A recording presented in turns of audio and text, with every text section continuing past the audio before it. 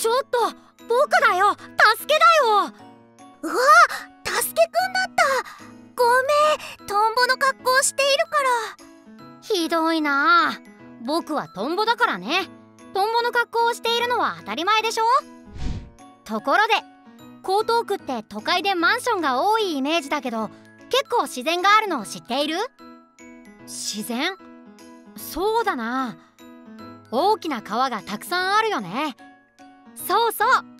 隅田川と荒川に挟まれた江東区には豊かな水辺の環境があるんだよ。そうね。荒川にはよく行って川の近くをお散歩してるわ。とても気持ちいい。江東区はたくさんの自然に恵まれているんだ。どんな自然があるの？春は大横川にたくさんの桜の花が咲く。それに水辺にはいろんな生物がいるよこれはカワセミ。うわー綺麗な色。くちばしの赤が目立つのがバン。頬から首が赤いのがカイツブリ水辺には鳥が集まるんだね。今度ちゃんと観察してみよう。水辺にはボラやハゼも泳いでいるから探してみるといいよ。江東区は思ったより自然豊かなんだね。なんだか嬉しくなってきた。でも最近は地球温暖化の影響によって自然環境も大きな影響を受けているんだ。江東区の自然もだんだん変わっていく可能性があるんだよ。え？どういうことなの？ハローエブリバディ私のこと呼んだ？わびっくり。突然現れた。温暖化って聞こえたから来たのよ。私は地球温暖化やエコな生活を研究しているドクターチチンプイだからね。地球温暖化はもはや地球全体の問題なのよ。コウトくんコウコちゃん今の地球の状況って知ってる？ああまり考えたことなかったかもしれない。そうだね。まず今の地球のことを知って今何が起きてるのかを考えてみない？うん知りたい。じゃあ出かけよう。どこに行くの？地球全体が見えるとこ。つまり宇宙だよ。まずは宇宙から地球を見てみよう。まずは自分の目で見ることが大切ね。もちろん私もついていくわ。えー、宇宙？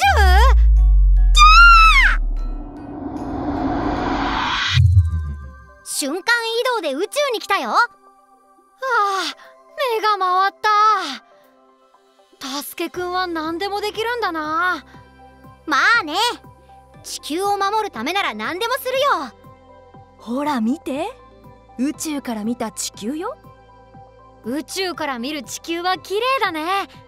うん。青くて本当に感動する。地球には海や陸地や空がある。そして陸地には砂漠や熱帯などさまざまな環境がありそこにはたくさんの動物や魚虫植物が生きているんだよ。僕たちの地球ってすごいね。生命にあふれた星なんだね。うん。生き物が生き生きしているわ。この美しい星には現在78億人もの人が住んでいるんだよ。そんなに人がいるんだ。そんな僕たちの地球が今危機に瀕しているんだよ。えいうこと？大きな問題は地球の温暖化が止まらないことなんだ。温暖化が止まらないことがなんで地球の危機なの？僕もちゃんと知りたい。そこはチチンプイ博士が説明。地球温暖化の問題は私たち人間が引き起こしたものなのよ。私のエコチャンネルの地球温暖化のところを見ればわかるわ。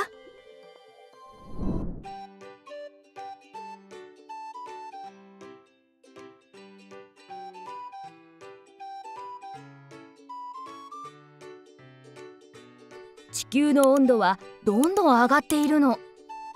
1880年から2012年の約130年間で0.85度も上がっている。近年は地球温暖化のスピードがさらに加速して2000年から2100年の100年間で0.85度の約6倍。気温が今世紀のうちに4.8度も上昇する可能性があるの。えー、地球温暖化のスピードってそんなに上がってるんだ。そうなると夏は40度を超える日も出てくるんだ。40度って言ったらお風呂の温度くらい？それじゃあ外で遊べないじゃん。でもどうして地球が熱くなっているの？地球の表面は主に窒素や酸素二酸化炭素などの大気が取り巻いているんだけど大気の中には二酸化炭素やメタンなどの温室効果ガスと呼ばれているガスがあるの温室効果ガスは太陽から放出される熱を地球に閉じ込めて地表を温める働きがあり地球の平均気温を寒すぎないよう一定に保ってきたわけ。温室効果ガスがなくなった場合地球の表面温度はマイナス19度になるとされているのよ。だから生き物が快適に暮らせてきたわけだね。でも今この温室効果ガスがどんどん増えていてその結果地球を温める効果が高まりどんどん地球が熱くなっているの。温室効果ガスの代表は二酸化炭素人間が石炭や石油などを大量に燃やすようになって大量の二酸化炭素が放出されるようになったの。人間が大量の二酸化炭素を出している？本当？もう少し詳しく教えて。例えばガソリンを燃やして動く自動車。灯油やガスを燃やす暖房も二酸化炭素を出しているの。自動車が発明される前には移動に馬を使ったりしていたのよ。でも今では世界各国でたくさんの自動車が走っている。そうしたことからも二酸化炭素がどんどん増えるのがわかるでしょ？自動車がない頃があったんだ。それから電気。日本で最も多くの電気を作っているのが石炭や石油。液化天然ガスなどを燃やして電気を作る火力発電所石炭や石油を燃やすから大量の二酸化炭素が出されているの。電気って石炭や石油を燃やして作っているんだ。家の中を見てみましょう。テレビやパソコンお風呂エアコン冷蔵庫照明など私たちは多くの機器を使って生活している。これは多くの電気を使っているということ。電気って私たちの生活でたくさん使うよね。生活しているだけでたくさんの二酸化炭素が出ているんだ。このまま何もしないとどうなるでしょう。将来私たちの大事な地球は暑くて砂漠が広がる赤い地球になってしまう危険があるの。いや現にそういった土地も今どんどん増えているのよ。みんなで地球の危機を救う行動をしないと。地球温暖化の問題。だいたい分かったかな？温暖化で地球が熱くなるのは分かったけど話が大きすぎてピンとこないところもあるかな？暑くなるだけなら我慢すればなんとかなる？うーん。そういうわけにもいかないんだ。今遠く離れた場所で地球温暖化の影響によって命が危ない生き物がいるんだ。暑くて我慢できないってこと？それだけじゃないんだ。この写真を見てごらん。これはホッキョクグマ？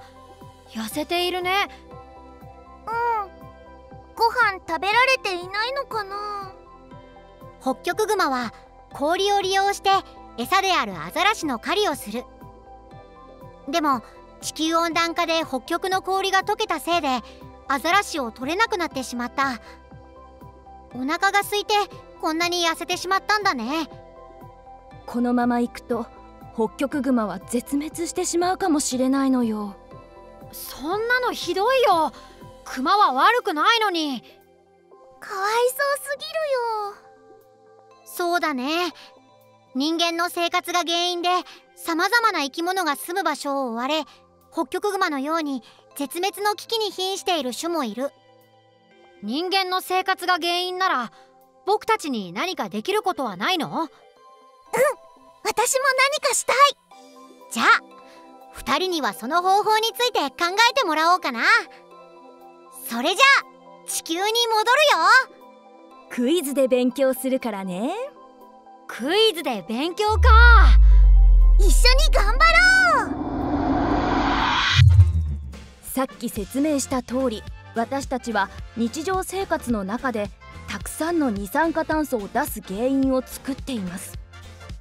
そこで二酸化炭素を出さないために私たちにどんなことができるのか一緒に考えましょう。そのヒントはエコな生活。なるべく余計な電気やガスなどのエネルギーを使わない生活をすることが地球温暖化の防止につながるの。ではクイズをしながら暮らしの中でみんなができることを考えていこう。みんなは毎日お風呂に入っていると思うけど次のうちどんな入り方がエコで地球温暖化を防ぐために良い行動でしょうか？1お風呂に1人で入る。2お風呂にお湯をたくさん入れる。3家族が続けてお風呂に入る。1でしょ？私はもう1人で入れるよ。3です。家族が続けて入ればお風呂のお湯が冷めないので再度お湯を温かくする必要がないからです。家の中で何度も開けたり閉めたりするとエコでないものは何でしょうか？1ランドセル。2冷蔵庫。3お財布。冷蔵庫でしょ。夏に何度も開けていたらパパに叱られた。2の冷蔵庫だね。何度も開けたり閉めたりすると冷蔵庫内の温度が上がってまた下げるために電気を使うからエコじゃないんだ。冷蔵庫は無駄に開けないようにしよう。どちらが二酸化炭素を出す量が少ないでしょうか？1自動車。2電車。よくわかんないけど僕は電車が好きだから2にする。2の電車です。乗れる人が少ない自動車よりも大勢の人が乗れる電車の方が1人当たりの二酸化炭素を出す量が少なくエコなんですなるべく電車を使う生活を心がけましょう。クーラーで使う時にエコなのは次のどれでしょうか？1ずっとつけておく。2小さいサイズのクーラーにする。3窓のカーテンを閉める。2の小さいサイズ ?3 の窓のカーテンを閉めるだよ。窓のカーテンを閉めると窓ガラスから冷気が逃げにくくなってクーラーをガンガンかける必要がなくなるからね。宅配便の荷物の受け取りで正しいものは何でしょうか？1 1回で受け取るようにする。2ちゃんとお礼を言う。3本当に宅配便の人か確かめる。これって難しいよ。ママにちゃんとお礼を言うように言われているしパパに本当の宅配の人かちゃんと確認しないとダメって言われたことある。そうそう。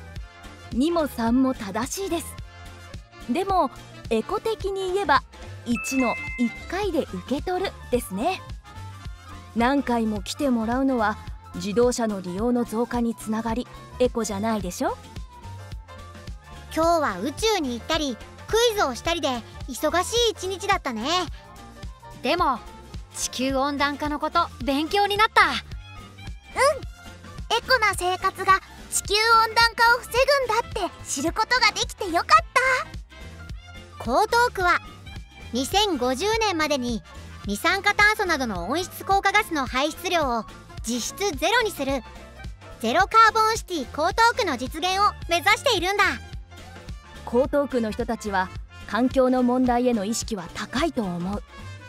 一人一人の力は小さいけどみんなで頑張れば達成できるわ。だって地球の未来のためだから。すごいや。江東区って環境のことを考えているんだね。これから一緒に頑張っていこう。僕たちが地球を守るんだ。うんお兄ちゃん。